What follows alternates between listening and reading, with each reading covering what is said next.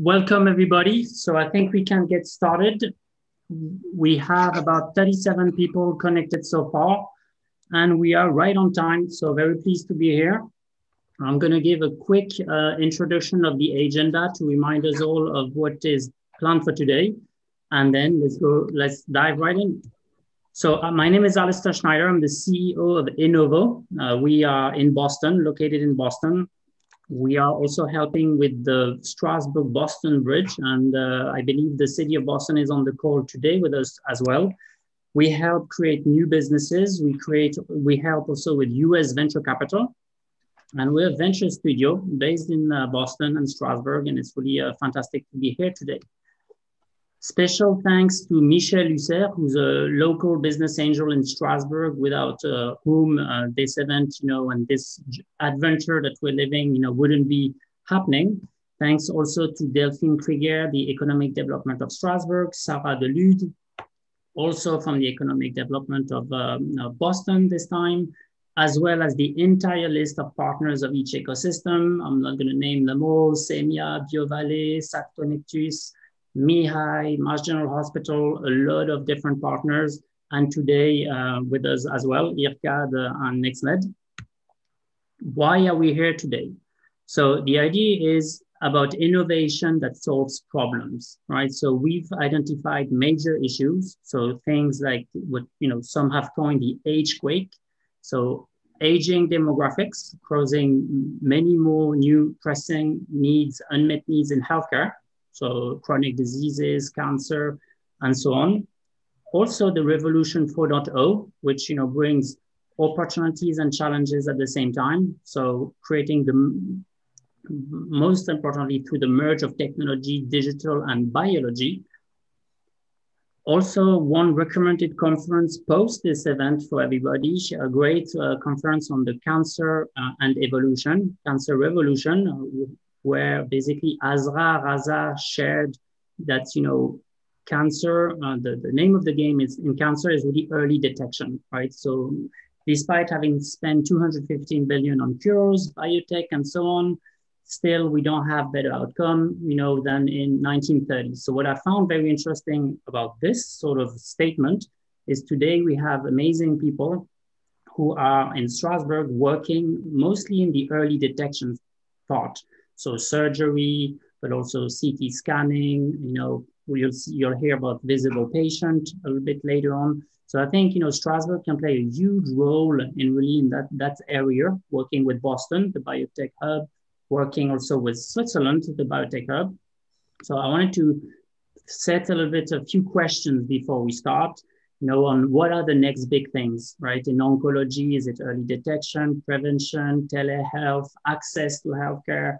There's a lot of innovation that needs to happen, especially because we have this age quake in front of us, a booming demography uh, a lot of older people which will uh, be in, which are in front of us, which means we need new innovation, streamline the healthcare systems, help the government fund these also, you know, uh, healthcare um, basically treatments, and really find new solutions. So it's quite exciting to be here today. And the future is in our hands. And that's why we're here today to talk about the future a little bit. How can we collaborate more? How can we, you know, make sense of everything that is going on and narrow our focus and basically innovate, solve these problems, and really create strong economies for tomorrow. Today, you're going to hear about our US Consul General in Strasbourg, Dara Paradiso, a keynote for 10 minutes.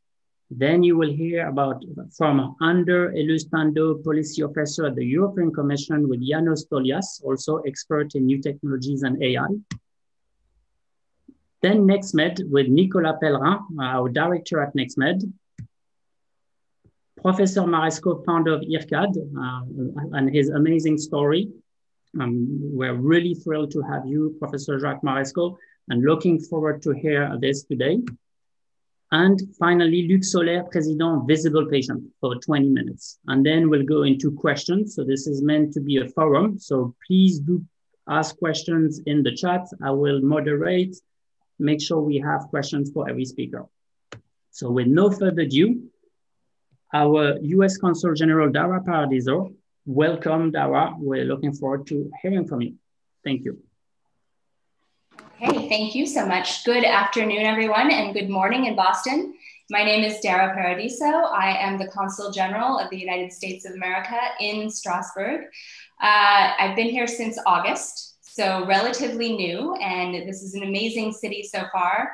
And I have to say, it's great to see some friends uh, on the screen already. And I am glad to be in your hands for the future because this is quite an amazing grouping of folks. Uh, it's an honor to talk to you today and to be able to support this initiative. And I know that this has been in the works for months. Um, the collaboration and the partnership has been ongoing for quite a while, and this is part of the bigger anniversary celebration of Strasbourg and Boston, which I've traveled all over the world in 21 years of diplomacy, and I have to say, this is probably the strongest sister city relationship that I've ever seen. It is really amazing to see. And I love that people are so invested in it. Um, it's been great on this project to see how a whole ecosystem has come together and mobilized to ensure that we have a good welcome on both sides for businesses. And uh, it's wonderful to see American businesses wanting to do business in France and in Europe, and of course, the other way around as well. Originally, we were hoping to be able to do this talk and more at my residence uh, over a nice reception. So I regret that that has not been possible because of COVID, but I hope that we will have a chance to celebrate together in the future. My doors are always open for any of you. I'd love to host any of the American companies here, our friends in Boston. If you make it over, please let us know at the consulate that you're coming. We would love to get you together and, and introduce you to um, the folks here and hear more about what you're working on. So, in general, the US Consulate General, I just want to say a few things about how we support um, this operation and business exchange in general. Um, in general, there's already a lot of exchange between Boston and Strasbourg uh, on an individual level and a company level. But this year, with the Sister City Partnership, it was a chance to make it more systematic and look at the strengths that the two cities have in common with tech partnerships and excellence in medical technology, and also um, two city governments that are really interested in making a good environment for business to enter in. So this is a chance to make it a little bit more systematic and formalized. Um, and I understand that you've already had a number of virtual events. I'm sorry that I missed out on some of those, but I'm glad to be able to join you for this one. I think the one we're doing tonight is really important because when Americans come to France and more globally to Europe, they feel that they've, they're on familiar ground. We have so much in common, and American businesses know that when they come to Europe, they are secure in their property, they're protected by rule of law. Innovation is encouraged, it's also the IPR is protected. But despite these similarities, there are certain divergences on important issues that we have to take into account when we're doing business. And there are some cultural differences as well. So, of course, um, data management, data protection is one of these issues where we have a total, the concept, we share the values, we recognize it on both sides of the Atlantic, but our approach to how to regulate it is actually quite different.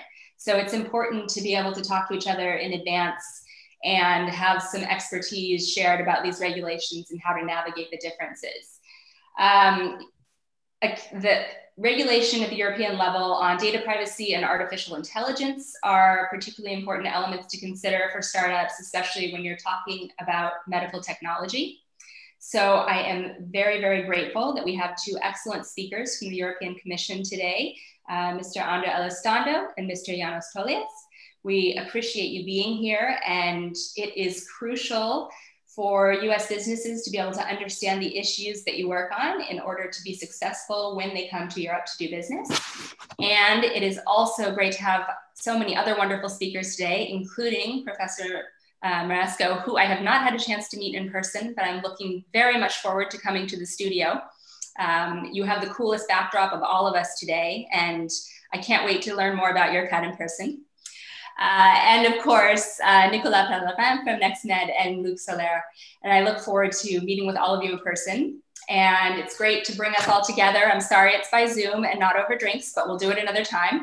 Uh, and just quickly, I want to conclude by explaining what some of our resources at the US Embassy in Paris and the US Consulate General in Strasbourg are for American businesses. Um, there is a Boston Export Assistance Center based in Boston, which is linked with the Foreign Commercial Service from the US Department of Commerce. And they can also assist with finding business partners in Europe. But here on the ground, we also can provide some basic support if you're looking at coming into this market. We can help you navigate the local scene. We can help um, we can help introduce you to people to talk about the kind of expertise we're doing today about regulations. And uh, we are constantly looking at the different business issues here and paying attention to a level playing field for American businesses. And for French companies who are looking to go to the US, we can do the same things in reverse and talk about some partnerships there, what you need to know about starting in the US. And we have some great programs like Select USA, where we can help introduce you to good partners on the other side of the Atlantic. So, with that, I just want to say enjoy today's opportunity to share information. I hope you have a very good conference. And thank you all again for your participation and your hard work. This is an extremely important part of the exchange year, uh, and it really helps build the relationship between Strasbourg and Boston. So thank you. Thank you very much. Thank you very much for this. Um, this kicks kicks off basically the conference for today. So thank you, Dara Paradiso, for being with us. Uh, so next, we have Nicolas Pellerin, our director from NextMed and he's going to share with you the vision uh, that he has for NextMed and for us innovators, entrepreneurs uh, in the healthcare space. So, Nicola, are you with us? Perfect.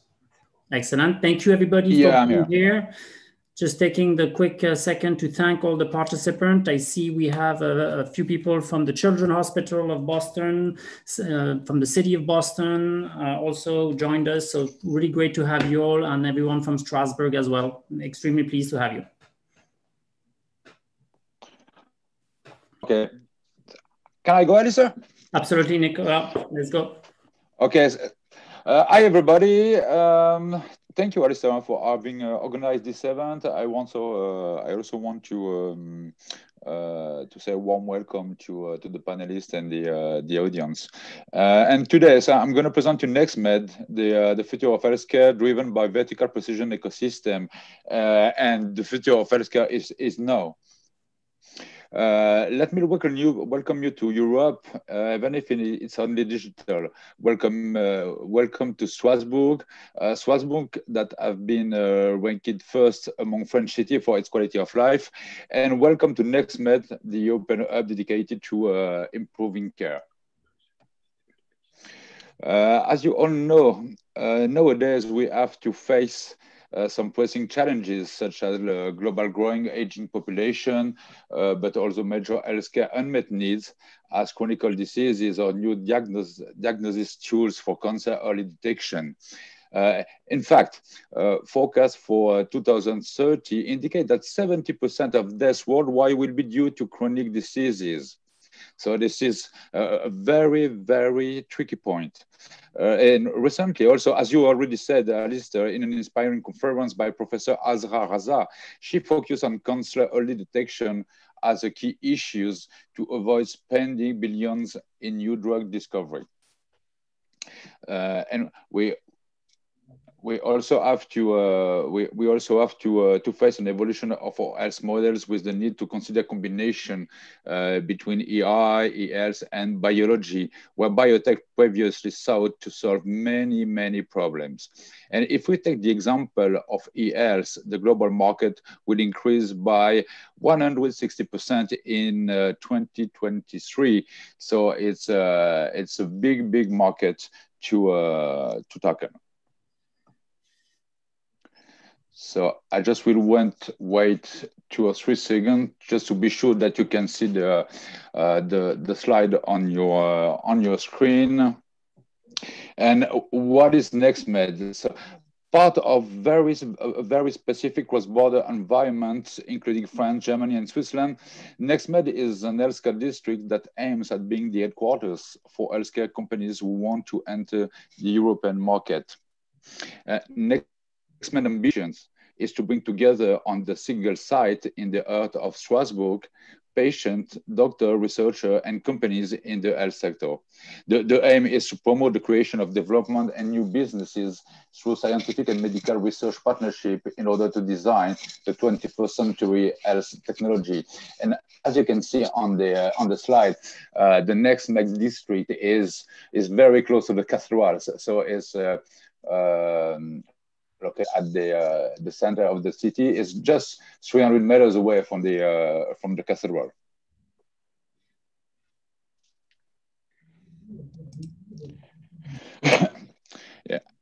As you can see, uh, our national environment allows outstanding cooperation to reduce time to market.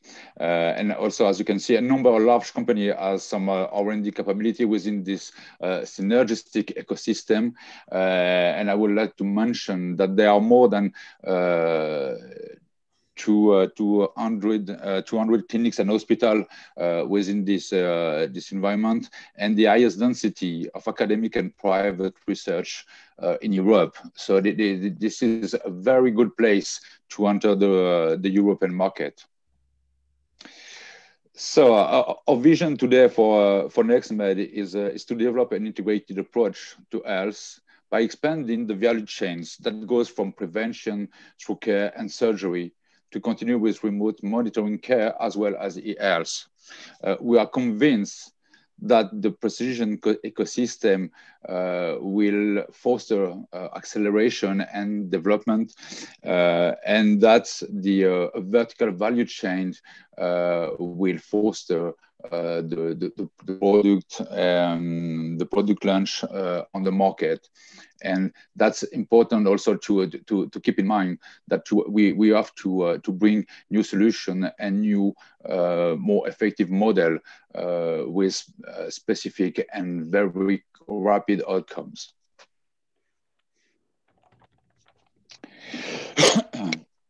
So uh, yeah, here you can see just next as, uh, NextMed at a glance, uh, focusing on fostering and complete uh, and thriving ecosystem. Uh, so if I more go, uh, if I go more in depth, just the, um, the, the, different axes of development. So the, the, the first one is the uh, research to pass to patient vertical value change. Uh, second one, the EU international business development. Then the office spaces fostering synergistic collaboration.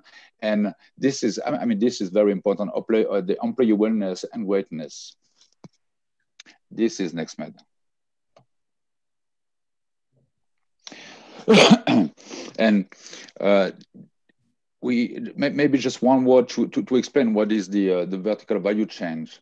Uh, in, in fact, as already as uh, uh Alistair already said, we we have to to think about new model, and we we need to merge tech, digital, biology issue to uh, to undertake new specific questions. Uh, and NextMed comprehensive team wants to help to create or integrate this value chain or precision ecosystem to solve your specific question and then accelerate your innovation or product development and precision ecosystem. And that's one, that's the key. Precision ecosystem include patients, scientists, startups, surgeon, and doctor. And so we, we can bridge, if you have any question, uh, and if we can answer, of course, uh, so uh, we, we can work with you to, uh, to build uh, such an ecosystem. So that is the, the, the, strength of NextMed, an innovation campus focused on patient journeys, a campus which consider as a whole the field of digital health, prevention, home care, and medical and surgical innovation. Obviously, we rely on your on uh, on our strengths, which are which are uh, genetics, uh, chronic diseases, neurosciences, and oncology. That's not a bad thing. Uh, and uh, you'll see later Jacques Marescaux and uh, Prof uh, Professor Jacques Marescaux and Professor Luc Soler, uh, who will illustrate such precision ecosystem regarding surgical innovation and diagnostic tools. So with NextMed, you will be able to uh, to rely on uh, to rely on a team, but also you will be able to uh, you will be able to uh, to rely on a hospital for uh, your proof of concept and first you with the customer. Uh, so you have the Strasbourg General Hospital, but also a cancer dedicated hospital to, to to work with to partner for clinical trials and clinician feedback, feedbacks. That we know that this is an asset and this is this often is the key to, uh, to success. Uh, you can rely with NextMed, you can rely on contract manufacturer to scale up uh, in medtech and biologics. Uh, this is this just uh, these are just some example on who you can rely on. you can rely on investment program and partners as Innouvo Capital because I know at least that you're part of this terrific and fantastic organization. Uh, you can rely on um, uh, international acceleration uh, and market access. You can access to a technology transfer company, uh, which is called Conectus. You can access incubators, accelerators, and also uh, you can access some business development organization. Uh, and I want to mention BioValley France, we are partner with for the, the NextMed development. It's important to know when you when you enter a cross-border region, and I mean this is the linear way to access the EU market. Uh, working with Strasbourg uh, allows you to uh, directly access the three large European countries: France, Germany, Switzerland, within a single location, uh, and also you will benefit from tailored programs to understand France and Europe laws and institutions, uh, just out of France from the European Commission uh, did did before uh, you can have access to the, the knowledge of a pool of um, 50,000 researchers through a three-national academic consortium. And that also is the key for the IP questions. And what is quite cool is that from Strasbourg, uh, that's also uh, a link, a direct link with Boston, because uh, as you may know, Strasbourg and Boston are twin city.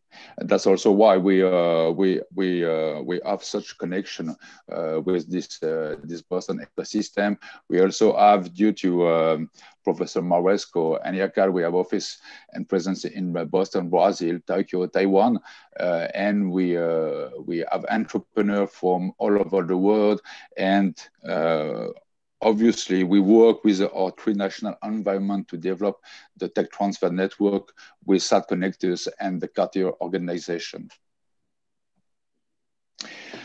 Uh, just a word about the uh, the next district new buildings because we uh, we we all know that's that's an important question. So we uh, we actually built uh, more than uh, 50,000 square meter dedicated to innovation, and the the, the, the building the as the, the building you can see on the on the screen. So this is a, a before after. Um, the this building is is actually under construction and will be in operation uh, by the beginning of 2022. And uh, it, this building will be part of uh, a set of six or seven uh, new buildings uh, to uh, to allow company from from abroad um, to to set up companies and to develop within the the European market. What you can see on the on the right part of the of the screen is one of our nurseries for startups. This is the former Faculty of Medicine, which is called the Pitch 8. Uh, and uh, I have to say that that could be also a solution for company who just want to uh, uh to um, to to be present in Strasbourg as a uh, as a plug and play uh, plug and play connection and to try our, env our environment. so that's a, I have to say that's a cool place. So you, you, you will find some, uh, so this is classical things, modern office and lab spaces. Um, you will find because don't forget that we are in France. You, you you'll find business and entertainment convenience, uh, restaurant, cafeteria. Uh, you'll find uh, everyday events to learn, to network, uh, and something uh, that is very special. Uh, it is the the hospital cellar because in France the, that's a tradition to to also have a cellar within within an hospital campus. Strasbourg, NextMed, a place uh, where you can hire top talent, top school in biotech, medtech, engineering, data, and, and, and EI, business and IP management.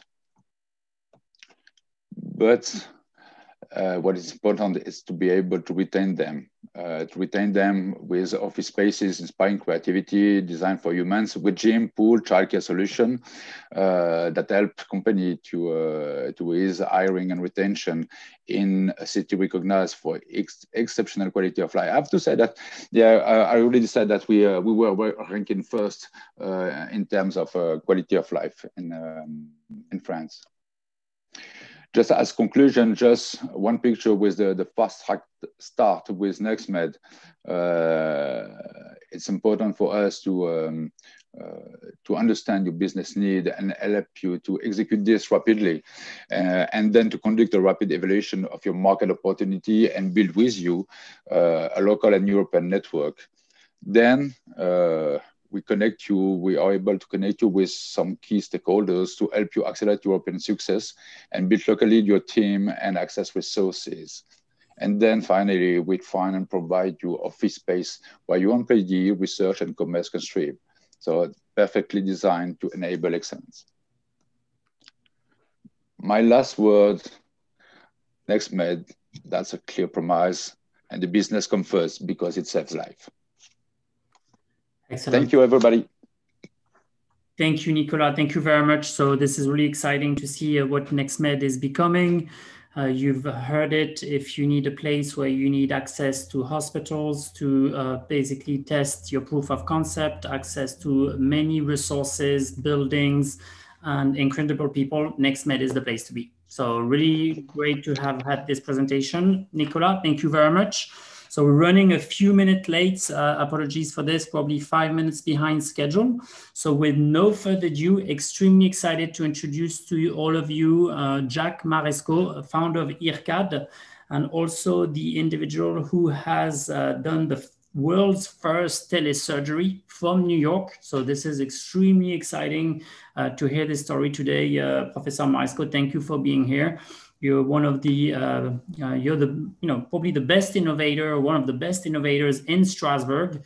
IRCAD is recognized globally as a hub of excellence for surgery, for innovation. You're working with the best companies from Medtronic, Siemens, Intuitive, you know, Karl Storz, you name it. So it's, it's really an honor to have you today. So thanks for being there and I will leave the floor to you. And I hope everyone is doing well in the attendees. Feel free to ask questions, network in the chats. This is also there for that. So thanks everyone for being here. Thank you. Thank you very much, first of all, uh, Alistair, for your kind introduction. And thank you, uh, Alistair and Nicolas Pellerin for organizing this uh, kind of session because I think it's uh, very motivating and it's very interesting. And also, I'm very happy uh, to meet for the first time uh, Dara Paradiso, uh, our General Consul of United States, who, who, arrived just in August. It was not a good period, but I hope she will uh, visit IRCAD because we have so many uh, collaboration with uh, United States. So my, my topics will be short, less than 15 minutes to explain uh, what we do in IRCAD, the history of IRCAD, the relation we, we have. And we can start by the first, uh, the first slide, please. Uh, Okay, so the, the topic, uh, the topic today of uh, IRCAD, the institute we have created now 27 years ago in Strasbourg, is to try to invent the future in surgery. That means a mix between robotics, imaging, artificial uh, intelligence. I have to say that when we decided to create IRCAD, that was after an exceptional lecture of this man, an American colonel of the US Army, a surgeon. It was in 1991 in Germany. And uh, this man has really the vision of the future. And uh, the, the name of the lecture was Medicine will switch from industrial age to information age.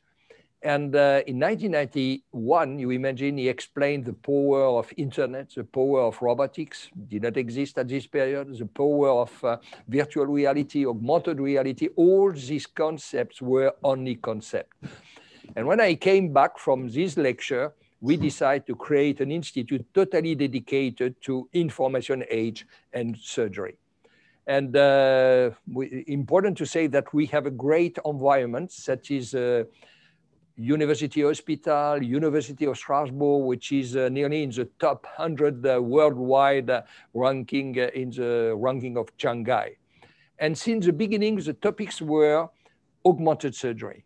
And what is augmented surgery? It is augmented vision for the surgeon. That means the surgeon could see in transparency. Augmented gestural, the hand of the surgeon, that is robotics and augmented the brain of the surgeon, and that is artificial intelligence. So augmented eye is uh, certainly one of the most important today uh, because all the surgeons, they want to understand more the medical image. So that is uh, 3D reconstruction. You, you know, uh, it is a medical image that very difficult to understand. You have software and with some software and algorithm, it's possible to have the 3D reconstruction of the patient. And it looks like a very realistic uh, digital clone of the patient. We see all the details of the anatomy, and it is very easy to understand and to have the, the best strategy for the operation. We can do that for a lot of things. And also after that, after the reconstruction, we can simulate the operation.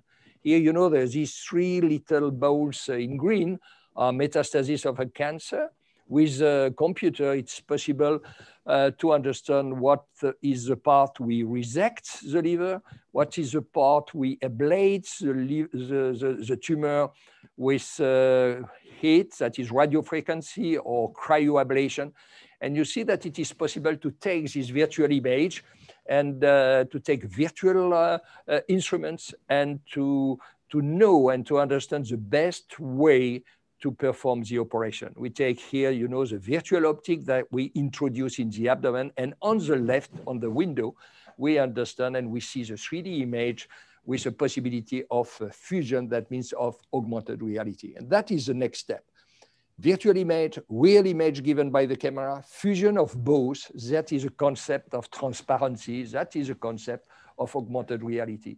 We start a lot of years ago, we published in JAMA, and uh, you see that that is a big tumor in green uh, uh, of uh, what we call the adrenal gland.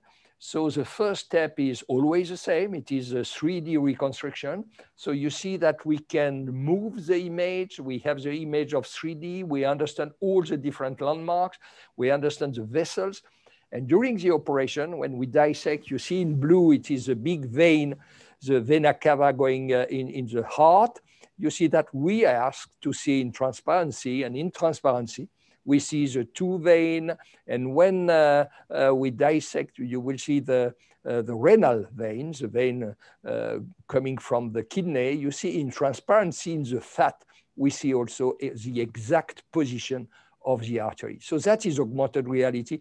And that is the future of surgery, especially if we imagine that one day surgery will be automatic as aeronautics, as uh, uh, automatic car. The, the second challenge after the image, which is certainly one of the most important, is what we call augmented hand. Augmented hand that is robotics. So uh, since uh, the beginning of the creation of IRCAD, we were totally fascinated by the concept of robotics. Uh, perhaps you remember that in uh, 2001, we published in Nature the Lindbergh operation that was the first uh, worldwide remote surgery, long distance remote surgery, because personally I was in New York and my patient was in Strasbourg. Uh, it was not a, a, surgical challenge because it was a very simple, what we call cholecystectomy, that is the ablation of the, of the gallbladder. But it was really an information challenge. And uh, you see the setting, setting of the robot uh, uh, at this period, it was a Zeus robot uh, coming from United States, Santa Barbara. It was the company Computer Motion. So that is the setting in our operating room. And uh, you will see when everything is uh, just uh, installed, after that, uh, uh, all the work was performed from New York and 80 engineers from France Telecom were uh, on the bridge. And personally, I was in New York. It's very interesting because today everybody speak about the development of remote surgery due to the 5G. But that was more than 20 years ago.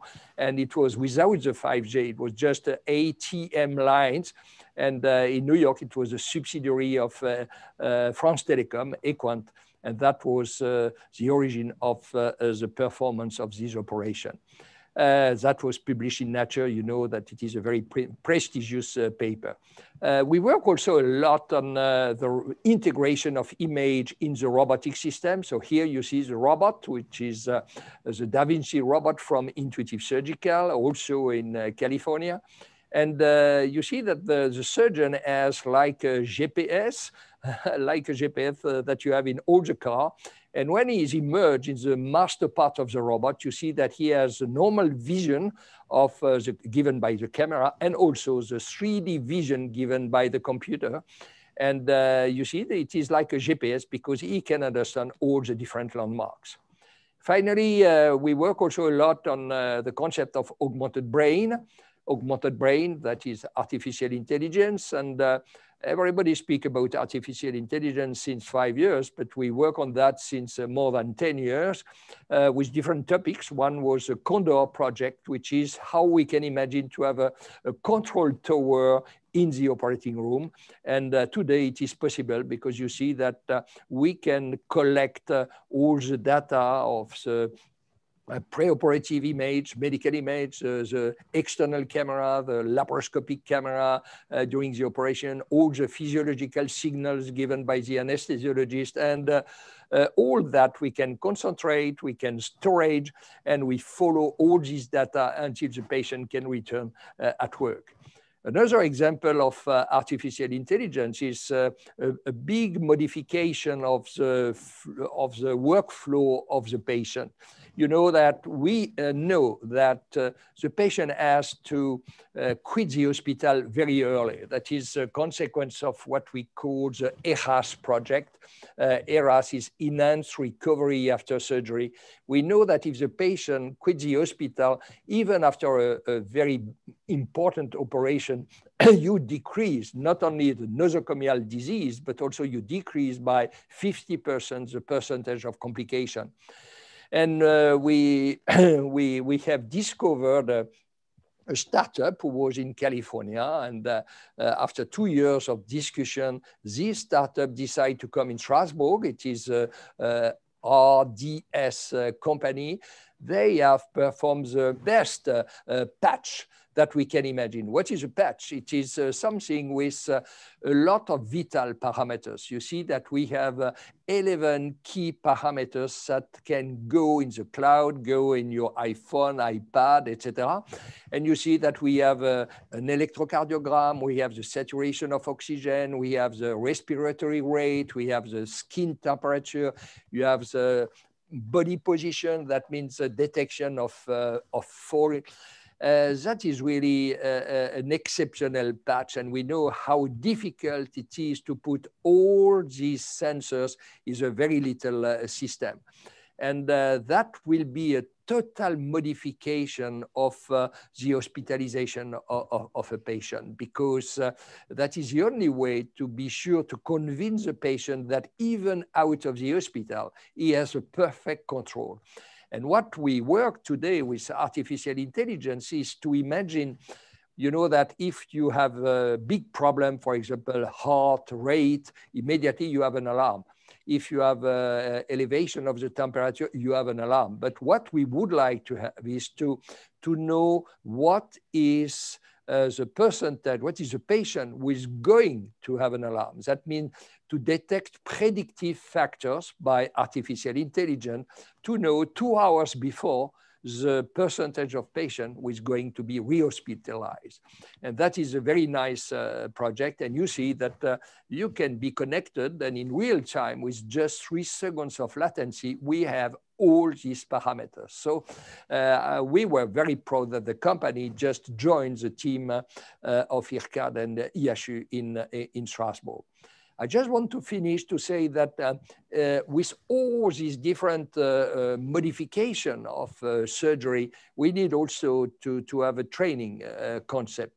And uh, the training is how we can uh, train, you know, surgery is a uh, companionship. So here we have the, our experimental room with the last generation of minimal invasive surgery. Uh, we work on simulators, on uh, pigs, on cadaver, and it is the best way for the surgeon to learn uh, the new technology. We do the same for robotic surgery. That was after the visit of Gary Guthart, the CEO of, uh, of uh, Intuitive Surgical in California. Uh, it was a challenge. He asked us after his visit, is it possible to have the most important place in Europe here? And in two months, we have uh, uh, totally destroyed 800 square meters. And now we have a platform with uh, 13 uh, robots uh, coming from Intuitive Surgical. So that really is uh, for us a, a wonderful, wonderful partner uh, we, we, work with. We develop also a flexible endoscopy training course because we know that flexible endoscopy it's very important for, uh, for the education of, of the surgeon. And now we extend our institute because we have understood that the next uh, generation of uh, training will be more robotic training than uh, conventional minimal invasive surgery. So we have the robot of Intuitive Surgical, but we have also a partnership with Medtronic since long years, more than 20 years. We have a partnership with Cambridge Medical, and we have uh, totally renovated, not renovated, rebuilt uh, a building totally, totally dedicated to research and education in uh, uh, uh robotic surgery. I want to, to finalize with the globalization of the concept. You see that uh, we have uh, now an IRCAD show in France. Uh, it was in 1994, in Taiwan in 2008, uh, in Libano uh, in 2019, but before we had two in Brazil, Sao Paulo and uh, Rio de Janeiro, two big projects, one in Africa, in Rwanda, one in China, and discussion today uh, with a big uh, company in United States uh, to build an IRCAD in USA. So thank you very much for your time. And if you have any question, I'm totally able to, to answer. Excellent. Thank you very much, Professor Marescaux. This was a great presentation. Thank you. So, so I'm going to start maybe Professor Marescaux with a question. So you know, it was interesting to hear about the multi-sensor patch, you know, so what this triggers as a sort of thinking for me is, you know, we seeing all these rapid tests where you can test, you know, for, you know, potassium, diabetes, and, and even COVID, and now we have all these sensors. So are we becoming more and more sort of a bionic human, right? Connected to technologies and, you know, what's the view, what's your perspective on this? You know in the next 10 years 20 years you, will we be always connected to some sort of device or what's your thinking there? So the uh, good question. Uh, you know the patch which has been developed by the, the startup and now the company rds uh, has uh, several parameters. You have seen today no biological parameters but to show it's uh, certainly something which is going to be also important and we can imagine to add. Uh, something you have to understand is that uh, it's a big, big change in the philosophy of, of, an hospital. Hospital will be the platform for the period you have to operate the patient. But uh, just after that, I mean, really, even after a, a, a, very important operation, we know that it is possible to go out of the hospital after 24 or 48 hours. And I have explained during the lecture that is the concept ERAS, which has been developed in Europe. It was more in the north of Europe. So we know that the patient has to leave. But you know also that uh, the concept of uh, hospitalization in uh, uh, Europe is not the same that in United States. In United States, it's very often common to go out of the hospital after three or four days. Why? Because it is very expensive and majority of patients, they have to pay. Uh, in France, for example, nobody pays. So uh, the patient is very well uh, to stay in the hospital even when really it doesn't need any care from a nurse. And so with, but uh, the patient say, uh, I don't want to go out of the hospital. But if you explain to the patient that if he can move out of the hospital because he will have less complication. So that is uh, something he understands. It's not to do some economy. It is just because it is better for the patient, he will accept. And for that, we need a patch.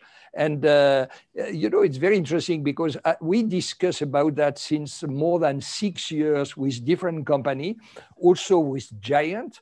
And always it was a failure because when we see this little patch, you think it's easy to have all these parameters. No, no, no, because it is more complex than just uh, uh, to have just a, a, a, a, watch. You know that if you have your watch here, for example, I can have my electrocardiogram, but I have to push. And uh, that is impossible if it is in a post-operative period. You need to have a 24 hours recording. And as I explained also, it's a fantastic tool for artificial intelligence to try to find the predictive parameters. What is a patient who in five minutes, in, in two hours is going to have a complication. And this patient immediately need to go back to the hospital. And we know in the ERAS program in Europe that 10% uh, of patients have to go back to the hospital. But 10 patients, 10% uh, of the patient, it's nothing because that means 90% of the patient can be out of the hospital. So it's a total change in the workflow of the patient. Excellent, excellent. Well, thank you, thank you, Professor Marescaux. And indeed, in the US, we have uh, this concept, you know, the home hospital, where a lot more patients are going to be, you know, be take, being taken care of at home. So a lot of technology devices helping do this. So this is really good uh, and, and, great to hear the passion you have when you, you talk about this. So we have a few questions here. I have a couple more. So we have Alexandre Blanchot, who is an economic developer uh, in Boston for the Den for the Denmark uh, region. So how do you see a collaboration between the US and Europe when we know that US hospitals have early access and broader access to new robotic tools for surgery compared to French hospitals? What could be a win-win collaboration? Uh, in, in French, what, what was, they have a better access or less access to robotics and new technology? I have not understood. So when we know that US hospitals have early access and broader access to Europe, so better access. Apparently, the US hospital in Europe access. No, apparently in the US. Ah, in US, uh, oh, okay, so that's true. Why? Because the first robot they have been initiated by United States, first of all by the U.S. Army, and after that it was developed by Intuitive Surgical, and it was very expensive because today, for example, the robot of Intuitive it's around 2.2 uh, uh, dollars. Okay, but now what happened? You have a lot of competition. You, you have sure the intuitive surgical robot, but you have the Medtronic robot that is in US. You have the TransEnterix robot also in US. In Europe, you have the robot of Cambridge, which is a good one. You have the robot of Medicaroid done by Germany and by Japan. So what we are going to face to a decrease of the cost and uh, an increase of the technology. Sure, advance of intuitive surgical, they have, uh, they have 10 years of advance. But when you look the new generation of robots, uh, they are not so bad. And some robot, you have also the robot of Johnson & Johnson, which is Verb, and Verb will be an exceptional uh, robot. So due to the fact, and also something you have to know that uh, I think nearly, nearly 100% of the operation except transplantation will be performed by robots. That is for all the different specialty. Uh, 20 years ago, at the beginning, when we start and when it was a conference of SATAVA, it was an exception. It was like a dream to imagine the robot. It has been so long to develop the robot. You, have, you, you had so many uh, conservative surgeons attacking the robot to say it is too expensive, no benefit for the patient, because it was the first generation of robot the generation of robot, especially due to what Luc Soler Professor Soler is going to show. That means the integration with the image. And that is the reason why Johnson & Johnson, they have invested in a visible patient and because they have a robot and they know very well that that will be a fantastic plus for the new generation of robot.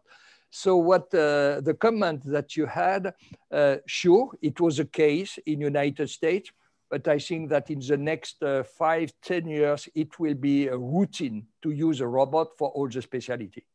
Excellent. Well, thank you. Thank you for this. So one more question here. So in terms of early detection of chronic diseases, you know, we've heard, you know, several people today talk about the importance of early detection. So obviously you, you play in your field a huge role there in improving outcomes. You know, what are the trends you're seeing that could really drastically, you know, help with okay. early detection?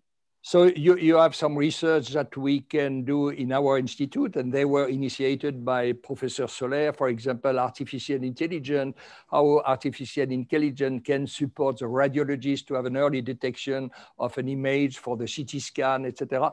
But we know that there is a limit of artificial intelligence, which is able only to do one task. But you have another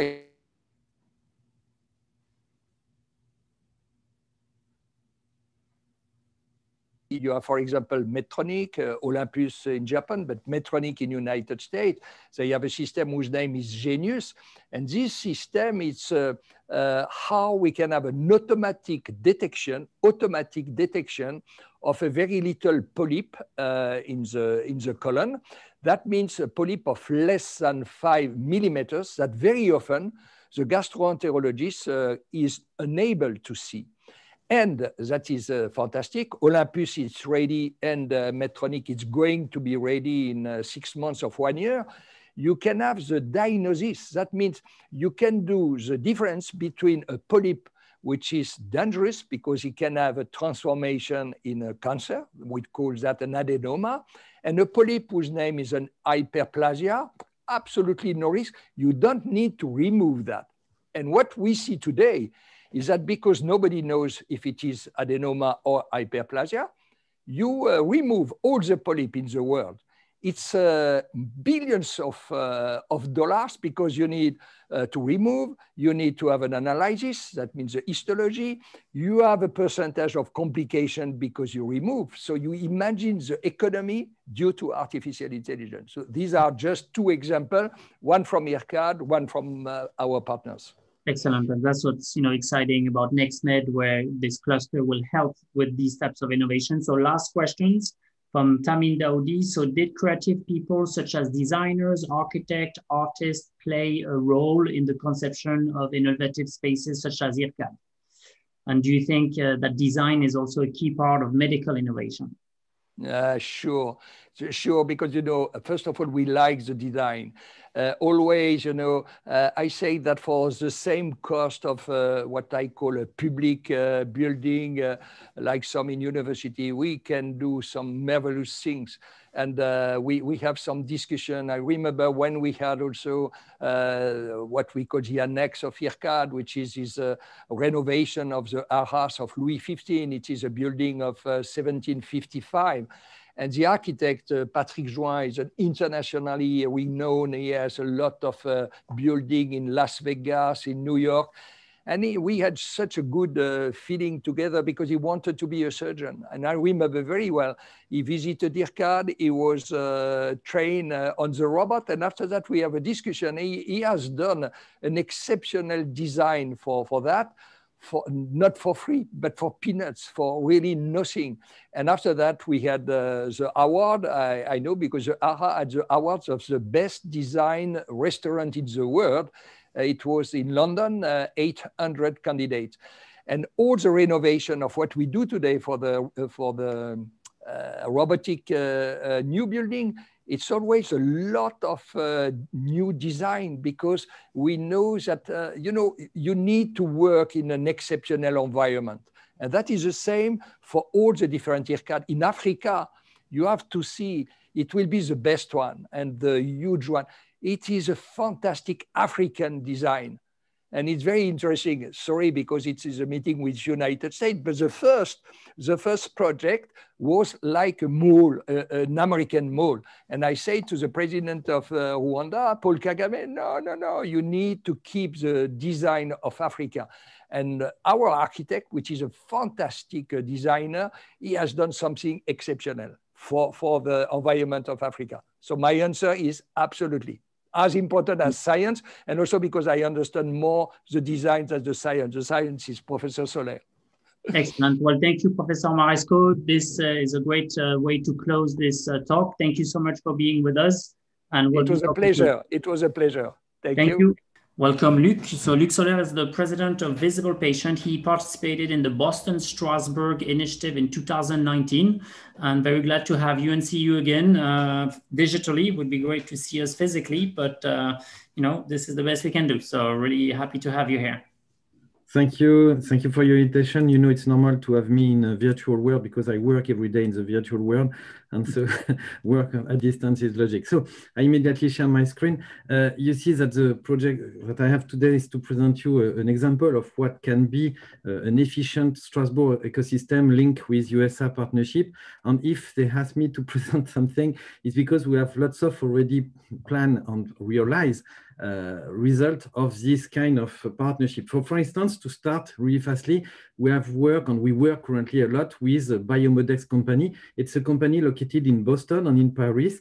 And this startup propose a model, like you see here, printing model from 3D models that we provide them. It is the system. What you perhaps don't know is the fact that this startup start all history in IRCAD by developing this hand surgery for the hand course, the course in the RISP uh, for IRCAD. And it was the beginning of their story. And thanks to IRCAD, they have proved the capability to do simulator based onto printed model. And from this start, they developed their story in Boston and, uh, as you know, also in Paris. Second example of such partnership is really recent. It's our partnership with Ethicon, Johnson & Johnson. Uh, we have signed an exclusive marketing and sale partnership. They presented this partnership soon, uh, not soon, in a, last week or two weeks ago, on to the 19th November. Uh, and it's a really big story for the future. And now I would like to explain you why it was possible. It was possible because we have an amazing ecosystem in Strasbourg. And this ecosystem is based initially from IRCAD, which is an amazing institute of research that Professor Marescaux presented you. But it's not only IRCAD, the ecosystem of Strasbourg. IRCAD is a base, but you have also another base, which is the University of Strasbourg, and the third part, which is the Strasbourg Hospital. And these three elements are really important. You have here public education, public hospital, and here you have both, you have private education, private uh, uh assistance of patient and research, and also, you had you need to add something for companies. And you have seen this wonderful presentation before with all the capability of company development in Strasbourg. So we have amazing place for that. And we have also amazing peoples because you can do nothing without peoples. And we have a really nice network, not only in Strasbourg, you see also in Boston. And here you see a picture of my last year uh, position in, in Innouvo when I was invited to, to be here and to learn. And I've learned lots of things in Boston. And one of the things I've learned is uh, American spirit that was amazingly useful for me when we have negotiated with Johnson & Johnson. I can say that it was one part of our success. And the last element that is really crucial is to have stars. And we have at Strasbourg an amazing star, a Superman with Professor Marescaux, of course. and this Superman is, of course, unique. And you need to have such unique people who have vision of the future. So, of course, as you know, perhaps not, you don't know, but it's that surgeon would like to be Superman. Professor Marescaux is a Superman. He's a surgeon, he's perfect, but he has some limitation like any surgeon. He cannot see through the patient. And it is a dream of every surgeon to see through. And to see through the patient, they need today to use medical imaging. So they haven't got an X-ray vision, they have a CT scan vision, a set of slice, cut in slice, uh, with gray level image. And it is major problem because in reality, you cannot really efficiently analyze gray levels. Here's a really exam easy example. Your brain analyze this square here of the chessboard as a clearer uh, B uh, square than the A square. it's logic because you have an alternance between dark and white uh, uh, chess. And of course, in such a case, you understand that the B will be on the white and your brain immediately understand that it will be white. So of course, A is darker, but it's wrong due to the shadow with this cylinder. And when you put that outside from the chessboard, you can see, perhaps not well because you are at distance, that the letter B square is darker than the letter A. It's not easy for your brain and for your eyes to see that, but for the computer, it's so easy because you have the value. And this value is the digital information. And it is what is interesting. With computer science, you have digital information much more accurate. If I link these two elements, you have a vision of variation of gray level from darker to whiter. It's totally wrong. There is no variation here. It's only due to the chessboard. It's an, illusion that is due to the fact that we have a limited capability of view. We can see only 16 gray level of contrast. So it's the first limit. We cannot see easily gray levels, and gray levels is the base of any medical imaging. Second problem, the medical image, as I've shown you, is cut in slice. And when you have cut in slice image, like for instance, this uh, Michael Murphy heart, certainly you know well this Michael Murphy heart, it's set of objects like this, here it's set of slices. We cannot understand what is this object from the slices. The only way to see that efficiently is to have the good orientation. It kind a kind of 3D reconstruction. And when you have this good orientation, you can understand what is this art. And it is exactly the problem of slices. When you combine these two limits of our brain, you obtain an amazing number of errors that create every year 40,000 deaths in US.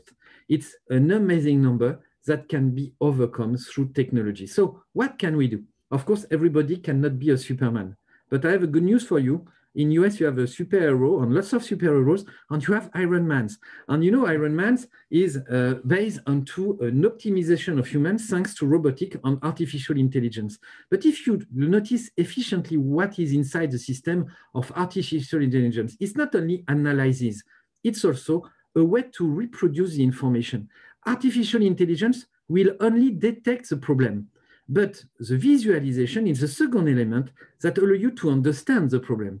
For instance, if I say you that there is an error 502, you don't know what is this error, and you don't necessarily where it is. The artificial intelligence has detected the error, but it doesn't assist you. To assist you, you need more. You need a visualization. And the human brain uh, easily understand colors on 3D. So you can reproduce in 3D. You, the same here. And when you do that, you optimize the system. So artificial intelligence is only one element, but you need also visualization. And this visualization must be onto mobile system. It's what you see here. If you apply that to surgery, you obtain Medical Lab project. Medical Lab project was written on 1999 in IRCAD. It was one of the first IRCAD projects. It was the first project I wrote uh, with Professor Marescaux. We obtained a first fund in, uh, in Strasbourg uh, thanks to the, the local region Alsace. And we have started this project. You see the project, the hospital sends the medical image through internet. We do through our lab, medical lab, the 3D modeling. So we do the medical image analysis thanks to artificial intelligence on, on computer software, and then we give back the model to the physician. It is what was planned, and it is what we realized after 15 years of research. And after these 15 years of research, we have created Visible Patient Company, which is indeed the first uh, medical image analysis lab online.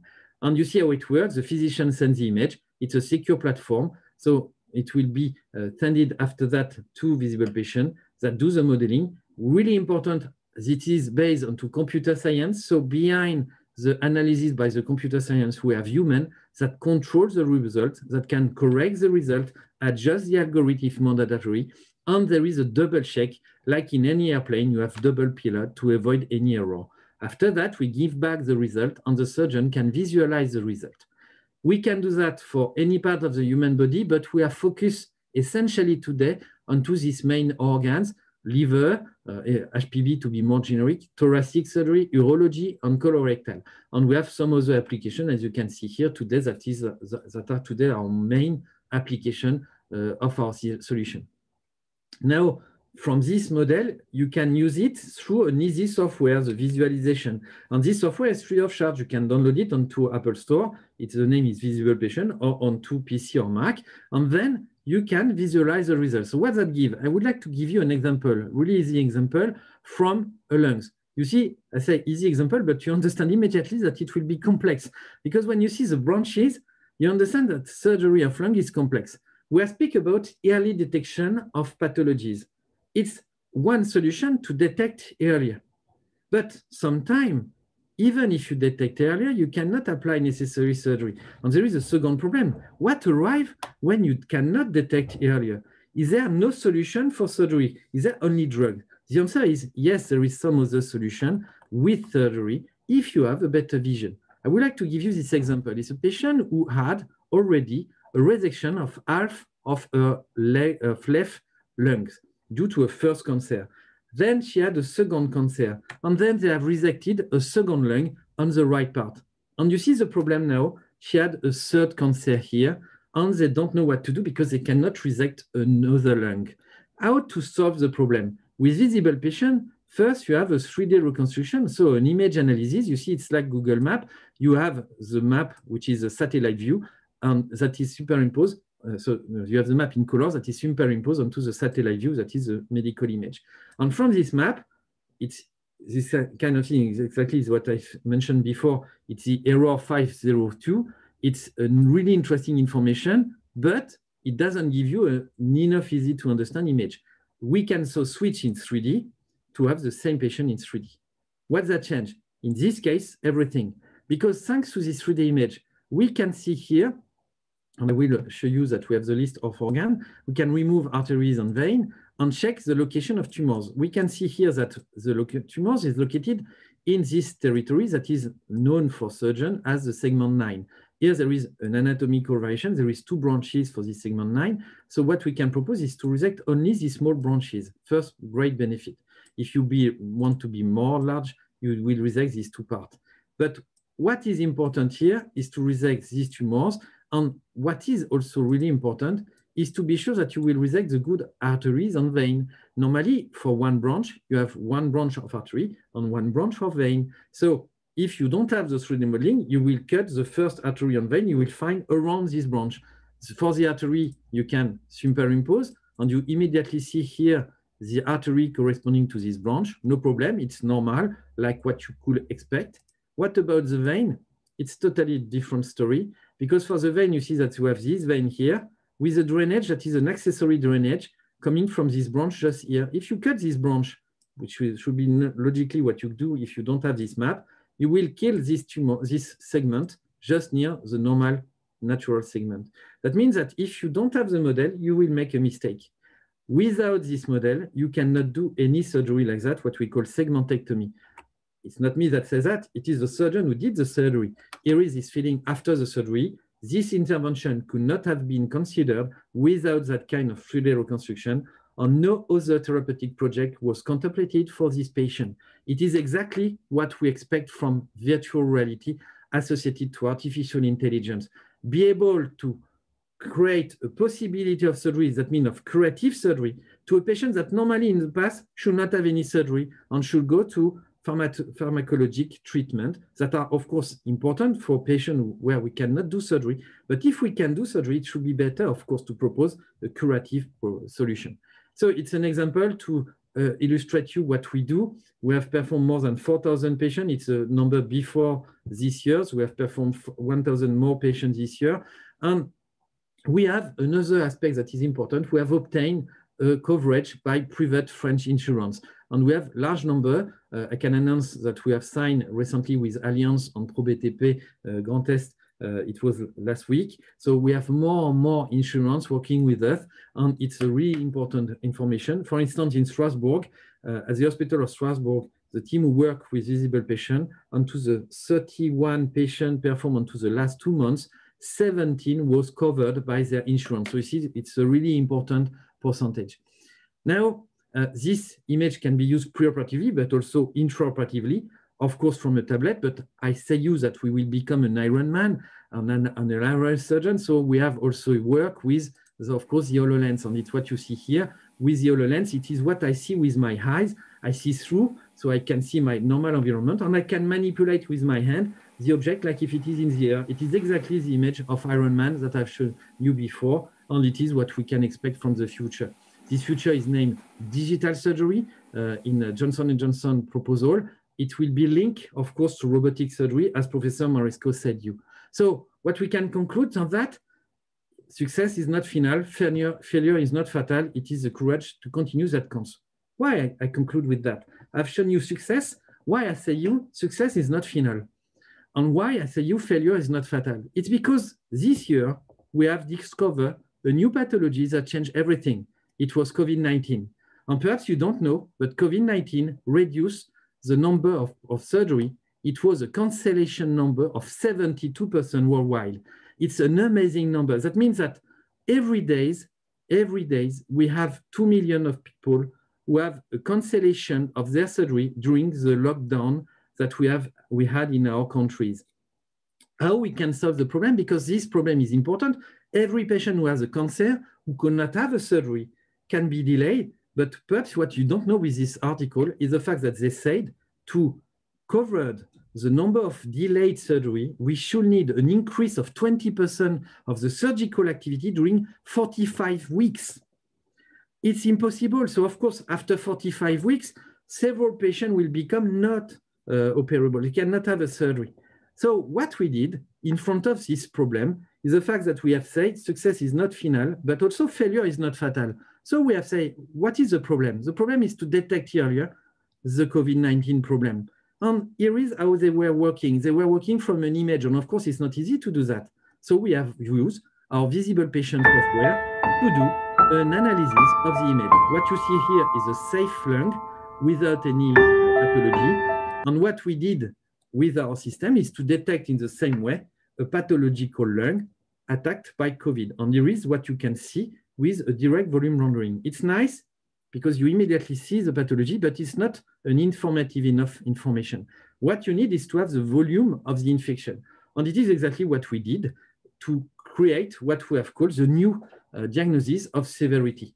And it is what you see here, the software we have developed allow to detect fully automatically the different area where it is attacked or not, where you have a, an infection or not. And so you can compute the percentage of remaining safe lung with this system. It's under uh, evaluation currently. We have not yet the CE mark or FDA approval for this new diagnosis of severity. But the first result of that was to show from the first study, uh, and it's, of course, a preliminary study result, it is that when the, third, the patient arrives in the emergency department, we can know seven days before what will be his level of infection seven days later, it's only from the image. That means that we can know the severity level when he arrives immediately, even if all patients look similar. So with this image, you understand that my, my wording, which is the fact that optimist is believing that every problem is an opportunity to make a world better place. And it is exactly what I've shown you with COVID-19. It was a real, real big problem for all the humanity, but it was also an opportunity to do something better. And this optimist is exactly what you find in Strasbourg. Here, it's a website that is Become an Optimist with Strasbourg. It's not a story I invent. It was really, uh, it is a real website with Strasbourg Optimist. And I want to say you that become an optimist world means do a better world for the future. Thank you for your attention.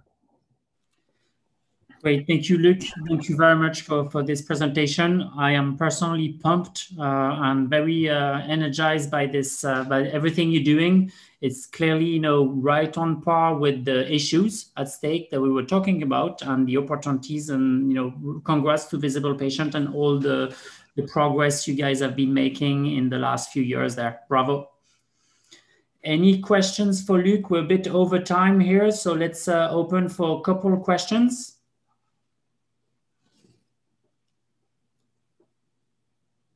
Anyone has a question? Let's just see here in the question. Thank you, Luc. This was really great. Um, I'm just looking here, Luc, one second. So Nicolas Pellerin is asking, do Luc Soler use only CT scans? No, I, we, we can use uh, also MRI, uh, but we need 3D imaging. So that means that without 3D imaging, you cannot do 3D reconstruction, of course. So we use CT or MRI. Okay. Any final questions from anybody? Okay, so I think, Luc, we can complete this. This was really great. Thank you, everybody, for participating. Janos, Ander, Dara, Nick Paradisio, Nicolas Pellerin, really appreciated this uh, call today. And thank you for sticking to the end. Hopefully, we've all learned uh, a little bit what are the different you know opportunities challenges and together we can actually help these entrepreneurs go a step further and continue to use the boston strasbourg ecosystem. I know sarah delude is with us from the economic development of boston. Hi sarah. Thanks for being there as well. We had the children hospital from boston. We had several startups that are wanting to get in touch with ircad and you luc will make the introduction as well and uh, thank you to uh, Janosa Ander for covering, you know, the European landscape. This is really great, guys, to see everything that's going on, and we can change things, and it's super exciting. Thank you, Nicola, for inviting us. Uh, NextMed is definitely the place to be, and we're super pumped and excited. Thank you. Thank you. Bye-bye, everybody. Thank you Bye. for participating, everyone. If you need to contact anybody, just contact us or shoot a, yeah, shoot me an email. That's the best. Everyone has my email, and I will make the introductions. Thank you, Thank you everybody. Bye-bye, everybody. Thank you, Bye. Thank you. Thank you, Luc. Thank you, Alistair. Thank you. Bye-bye. Bye. Great presentation. Thank you. Bye-bye.